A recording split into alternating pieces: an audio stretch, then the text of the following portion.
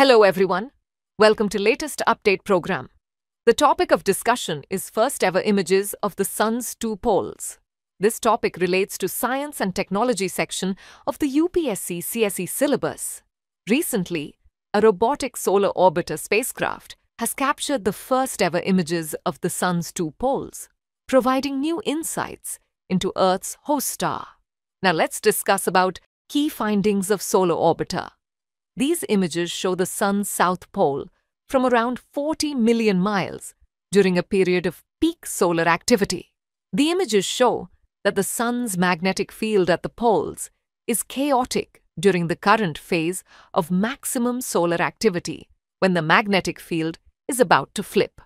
Solar Orbiter used a flyby of Venus in February to change its position, allowing it to view the Sun from up to 17 degrees below the solar equator, with future flybys offering better views beyond 30 degrees.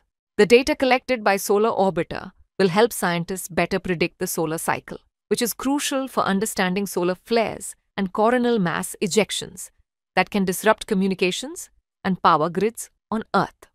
Previously, the Ulysses spacecraft flew over the solar poles in the 1990s but lacked optical instruments and could only sense the solar wind without imaging the sun.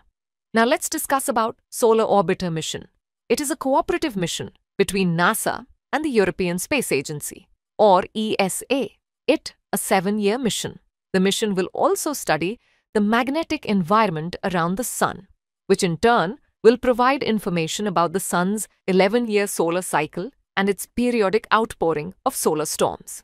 Solar Orbiter carries 10 instruments, three of which will help to survey how sun surface changes over time. Now is the time for practice question.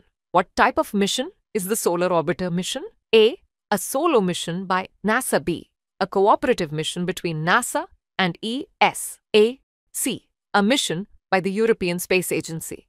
A mission by the United Nations. Send the answer for this question in the comment section. Thanks for watching.